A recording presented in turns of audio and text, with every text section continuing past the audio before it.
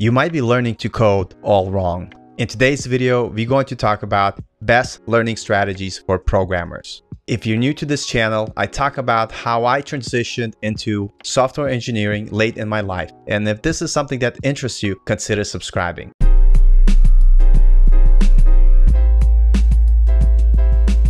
Hey guys, there's so many questions about how to learn, how much to learn, why can't I remember stuff, I'm stuck in tutorial hell. But the truth is, the answer to your questions is much more complex because everybody learns differently. One thing that I could say, if you don't have a system for learning, it will be really hard to accomplish any of your goals. So today's video, I'm going to talk about the strategy that I have used and continue to use to continue to grow as a developer. So if you've been cramming and feel like you're not getting anywhere, this video is is for you. The most important thing that you guys have to understand that it's not the quantity of your studying, but the quality of your study session. Let me tell you what I mean by this. Of course, you could spend 10 hours watching a tutorial, but if you don't practice any of the stuff you're learning, are you really learning anything? And also, is 10 hours a good amount of time? Like, just because you can watch something for 10 hours, how does it affect you from being able to recall or actually think about what you're learning? As the material gets more complex, if the stuff that you learned before is not making sense, you're just going to be lost.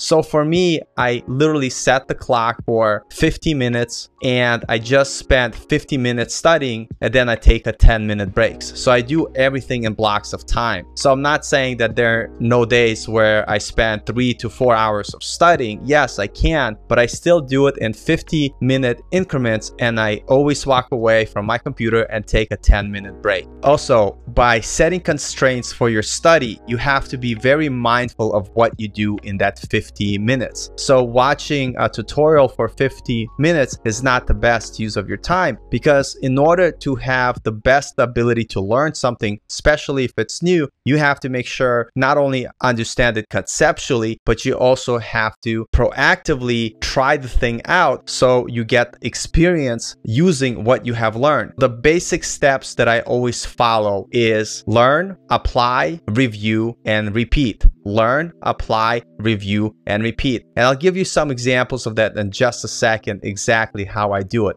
But you have to understand that learning to program or learning to code is a skill that you need to acquire. And acquiring skill takes time. So you cannot rush through it. You cannot cram through it. And this is something that took me forever to understand. And knowing what I know now, I much rather do very specific, focused learning session than just spending two, three hours watching tutorial on YouTube and passively observing it and not actively participating in my learning. But before I get into my strategy in detail, what should you be able to accomplish in your learning session? Number one, you should at least go over what you're going to learn and conceptually see if you understand what you're being asked to do. Number two, you should practice recollecting, even if it's a small example or small part, you should be able to turn off the tutorial and try the thing out and see if you could do it on your own. And if you can't,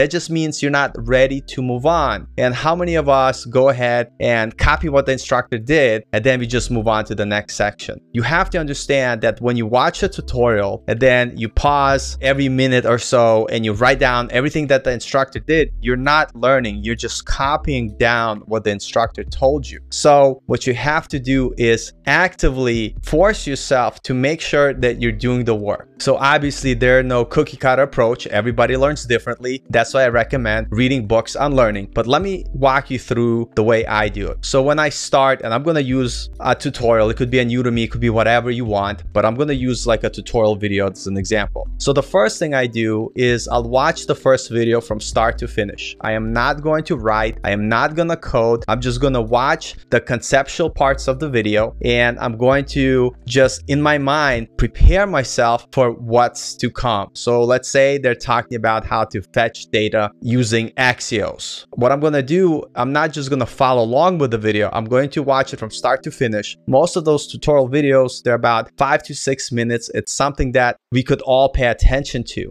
So once I finish watching the video, I take a small pause and I try to, in my mind, recollect what did we discuss, what did we do. Then I will go to the beginning of the video. Now I have a mental outline of what to expect and then I'll go through the video again, watching it and following along with the instructor. I'm going to type the code. I might not remember all the code, which is fine, but I am able to see what the instructor is doing. I'm able to follow along with the instructor. And because I already watched the video once, a lot of that stuff is a repetition for me and it's much easier to follow. Once I finish the lesson, what I do is I pause and I look at the code that I wrote and I try to go line by line and see if I understand what the instructor was asking me to do and why I wrote that code. If there's something that I don't understand, even though I wrote it and it might work in my code editor, I don't move on. I'll go and review the video again. I'll watch it again because I want to make sure that I really force myself not to continue to the next part if the stuff that I'm learning right now, I can't understand. Once I review the code, the final step and one of the most important steps is I turn off the tutorial. I open up CodePen or any of those equivalent things that allow you to try code out and I try to recreate that same example from memory. And if I do get stuck, I don't go back to the tutorial right away because I kind of know what I want to achieve because I just watched the video. So instead, I will Google. For instance, I use the fetch example with Axios. I'll be like, oh, well, how do you use Axios to fetch fetch data and then I will read other supplementary materials to help me to make connections from what I'm learning from the tutorial to finding the answer for myself. And if I'm still stuck, I will reference the code that I wrote before to make sure that any part that I missed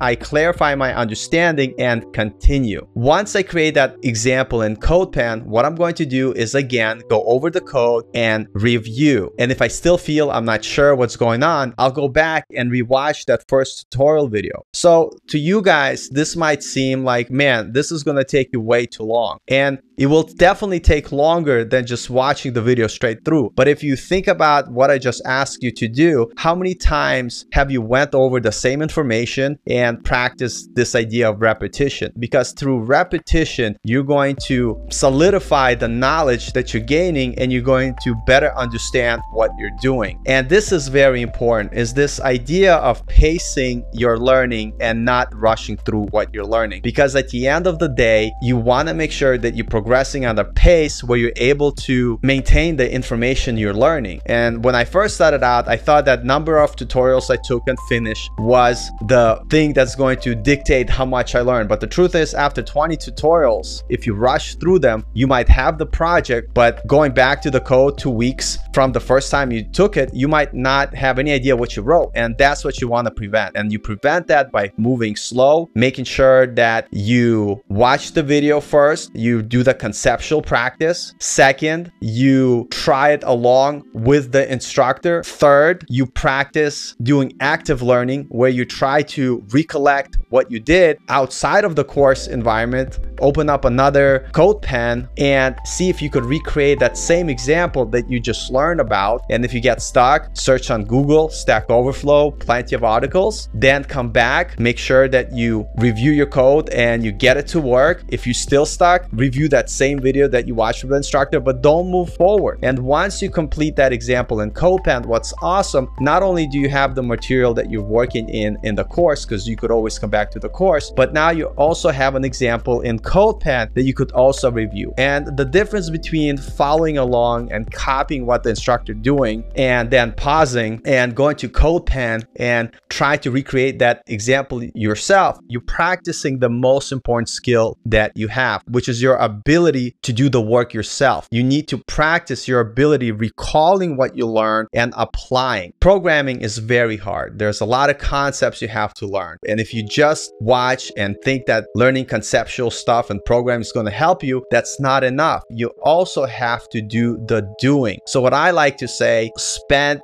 30% of your time learning the concept, but then spend the other 70% making sure you're actually doing and trying the stuff on your own. Because through failure, through stumbling through your own code, you're going to improve as a developer faster. So in this strategy, which seems that it's going to take you much longer, if you look at where you're going to be a month from now, two months from now, you're actually going to make way more progress. And this is the approach that I still do to this day because it works really, really well. I kind of got over my insecurities and my ego where I need to go through the course as fast as I can. I slow things down. I make sure that I am very mindful of what I'm doing and I make sure that I don't skip these steps of learning, applying, and reviewing and then repeating. So anyway, if you guys like this video or confused about anything I said, let me know in the comments. I will definitely answer all your questions. By the way, if you're new to this channel and really like what I do here, consider subscribing. And with that being said, thank you so much for your time and I'll see you guys later.